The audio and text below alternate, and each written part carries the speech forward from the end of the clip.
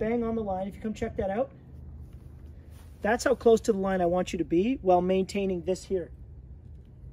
Your bubble in between the two lines. Um, and the way I do that, the easiest way, I put my foot on the ground here and that holds the bottom so I don't have to constantly look up and down at the line. I know I'm at the line and now I just got to check for level. So it's just going to stay like this.